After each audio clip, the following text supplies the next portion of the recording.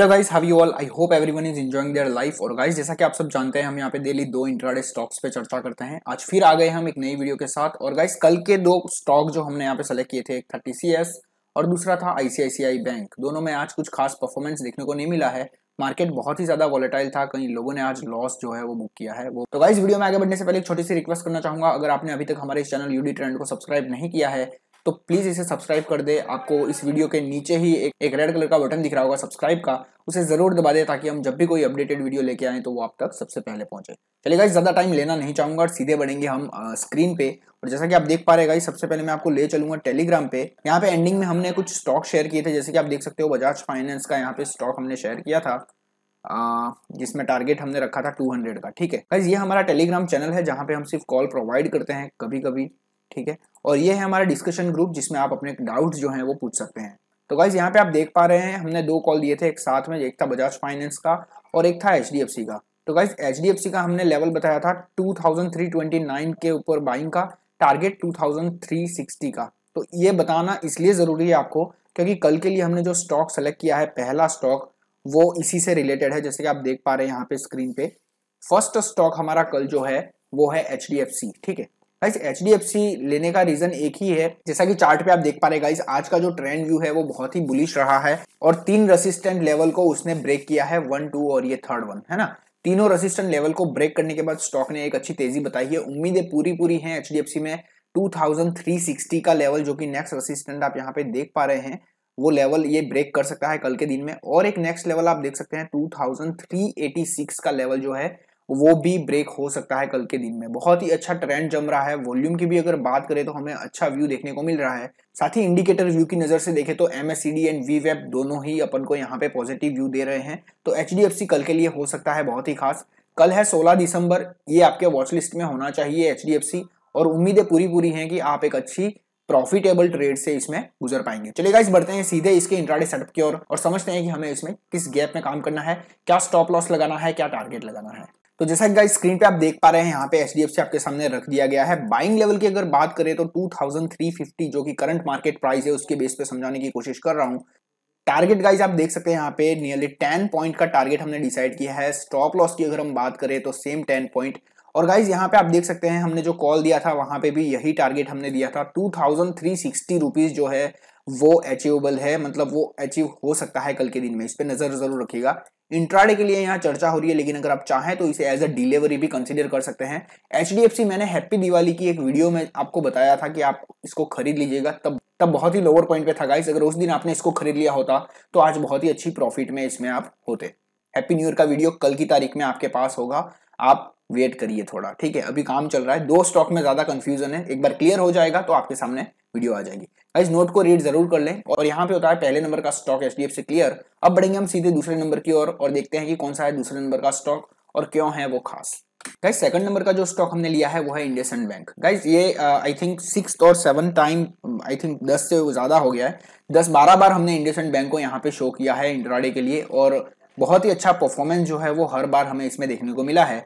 कल हम फिर कंसीडर करेंगे इंडसेंट बैंक को। और जैसे कि आप देख सकते हैं स्क्रीन पे गाइस 926 अभी लेवल चल रहा है। मैंने आज इंडसेंड बैंक पे भी कॉल दिया था, अगर आप देखें टेलीग्राम ग्रुप में जाके। तो इंडसेंड बैंक पे हमने लेवल सेम दिया था, उसके बाद स्टॉक ने कुछ पाँच से छह पॉइंट की ग्रोथ दिखाई। लेकिन अपॉर्चुनिटी जो है वो गाइज़ अभी भी बाकी है। नेक्स्ट रेसिस्टेंट 938 है, हम एक्सपेक्टेशन रख सकते हैं कल के दिन में इसमें। 930 ब्रेक होने के चांसेस जो हैं वो बहुत ज़्यादा नज़र आ रहे हैं। नेक्स्ट रेसिस्टेंट की अगर बात करें हम तो 949 गाइज़ ये भी एक स्ट्रॉन्ग रेसिस्टेंट लेवल है। उम्मीदें यहाँ तक नहीं है, लेकिन आप यहाँ तक कंसीडर कर सकते हैं इसको 938 के लेवल तक ज़रूर इसको लेके चल सकते हैं।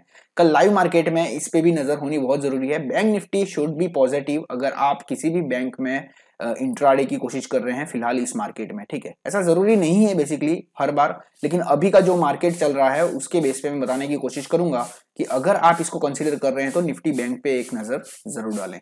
चलिए गाइज़ यहाँ पे ये चीज़ें क्लियर होती है। एमएसडी की भी बात करें तो यहाँ पे टेन मिनट्स के चार्ट में हमें थोड़ा व्यू अलग दिख रहा है। अगर हम यहाँ पे टाइम फ्रेम चेंज करेंगे तो डेफिनेटली हमें ये भी पॉजिटिव लगेगा। वैसे इंडिकेटर्स का इतना इंपॉर्टेंस मैं इसलिए नहीं देता हूँ, यहाँ पे जब वीडियो बनाता हूँ, क्योंकि ये सब एनालाइज होके आपके सामने आ रहा है, यहाँ पे पूरा एनालाइज हो गया है, उसके बाद ही आपके सामने रखा है ये वीडियो और वैसे भी आपको पता है कि हमारी जो नेक्स्ट डे की वीडियो होती है, वो लेट आती है, उसका रीजन ही यही होता है गाइस हम प्रॉपर एनालाइज करते हैं उन स्टॉक्स को, उसके बाद ही आपके सामने रखते हैं।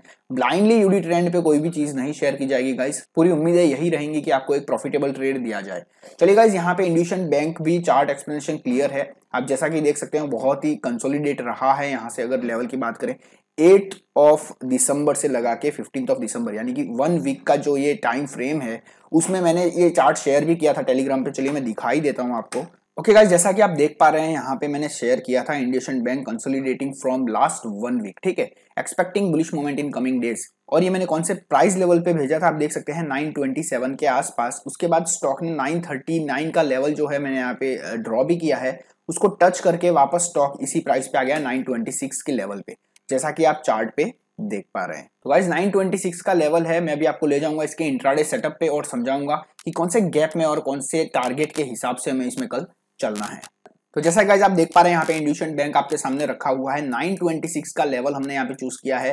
नाइन पॉइंट का टारगेट डिसाइड किया है, सेम नाइन पॉइंट का स्टॉप लॉस, यानी कि वन इस टू वन, जो हमारा रिस्क एंड रिवॉर्ड रेशो है, उसको ही लेके चलेंगे। इंट्राडे के लिए सिर्फ़ अभी बोला जा रहा है गाइस क्योंकि ये स्टॉक एक डाउन मोमेंट देगा और उसके बाद जो है आप इसको कंसिडर कर सकते हैं एज अ डिलीवरी एक एक्सपेक्टेशन बनी हुई है कि ये स्टॉक और एक डाउनफॉल देगा, उसके बाद ज़रूर मैं आपको सजेस्ट करूँगा कि अगर आपको इसमें डिलीवरी में लेना चाहिए नहीं। फ़िलहाल इंट्राडे के लिए बात हो रही है और गैप अप नियर टारगेट ठीक है? फिर बोलूँगा, यहाँ पे भी ये चीज़ आज भी हुई है। आप चाहें तो कल की वीडियो देख सकते हैं। मैंने गैप अप नियर टारगेट के ऊपर एक डिस्क्रिप्शन दिया था आपको कि क्यों ये ज़रूरी है। तो इस पर ज़रूर नज़र रखिएगा, इस नोट को रीड ज़रूर कर ले। तो गाइज़ यहाँ पे दोनों स्टॉक होते हैं क्लियर कई लोगों का ये मानना है कि निफ्टी जो है वो बहुत ही बड़ा क्रैश देगी या फिर बहुत ही ज़्यादा टूटेगी। बहुत सारे यूट्यूब वीडियोज़ भी मुझे कई लोगों ने शेयर किए हैं। गाइज़ इतना बड़ा जो क्रैश है वो एक्सपेक्टेबल नहीं है। यानी कि इतना हम एक्सपेक्टेशन नहीं रख सकते हैं कि निफ्टी एक झटके से टूट जाएगी 700 से हज़ार पॉइंट का और लोअर सर्किट आ जाएगा जैसा कि मार्च महीने में हुआ था। मुझे नहीं लगता है कि निफ्टी इतना ज़्यादा टूटेगा। हाँ थोड़ा बहुत करेक्शन और थोड़ा बहुत डाउन ट्रेंड हमें देखने को मिल सकता है, जैसा कि वो पिछले दो तीन दिनों से देखने को मिल रहा है। और सिचुएशन ऐसी हो जा रही है कि हम किसी भी पर्टिकुलर ट्रेड को लाइव मार्केट में प्रेडिक्ट नहीं कर पा रहे बहुत ही टफ हो जा रहा है। तो हो सकता है कि थोड़ा डाउन ट्रेंड देखने को मिले, लेकिन इतनी ज़्यादा उम्मीदें हमें नहीं रखनी है, जितनी हम लेके बैठे हैं कि अभी तो आराम से बैठेंगे, पूरा निफ्टी एक बार नीचे आ जाए, उसके बाद हम पैसा लगाएँगे। तो ये चीज़ें गाइज़ अभी फिर से होनी थोड़ी टफ है। और वैसे भी कोविड वैक्सीन कल मैंने एक न्यूज़ अपडेट भी भेजा था आपको। वो second half twenty twenty one में जो है वो इंट्रोड्यूस होगा इन इंडिया तो हो सकता है कि धीरे धीरे मार्केट ऐसे ही कंसोलिडेट करता हुआ आगे बढ़े और जब वैक्सीन की न्यूज़ आए तब एक अच्छा बुलिश ट्रेंड हमें और देखने को मिले। गाइज़ अब आपको जो है वो ग्रीन लुक देखने को मिलेगा इंडियन मार्केट में। और उम्मीदें ज़्यादा ऊपर साइड हैं जितना आप सोच रहे हो कि नीचे आएगा।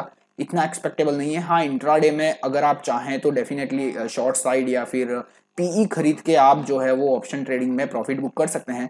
लेकिन इतना ज़्यादा एक्सपेक्टेशन बिल्कुल मत रखिएगा। मार्केट इतना ज़्यादा नहीं टूटेगा। और डरना भी नहीं है। कई लोग डर रहे हैं तो डरना भी नहीं है। आप इसको कंटिन्यू करिए जैसे आप ट्रेड कर रहे हो। हाँ ये वन वीक जो है वो हमको थोड़ा टफ हो सकता है मार्केट में काम करना, लेकिन धीरे धीरे जो है वो सब नॉर्मल हो जाएगा। चलिएगा यहाँ पे दोनों स्टॉक होते हैं क्लियर और उम्मीद करूँगा कि आपको ये दोनों स्टॉक कल एक अच्छी प्रॉफिट दें। और अगर आपको कोई डाउट या सुझाव है तो आप नीचे कमेंट में बता सकते हैं। अगर आपको हमसे सीधे बात करना है तो आप हमारा टेलीग्राम ग्रुप ज्वाइन कर सकते हैं और वहाँ पे आप हमें सीधा मैसेज जो है वो कर सकते हैं। चलिएगा इस मिलते हैं इसके साथ किसी और नई वीडियो में। तब तक के लिए आप अपना ध्यान रखें। Love you all take care bye bye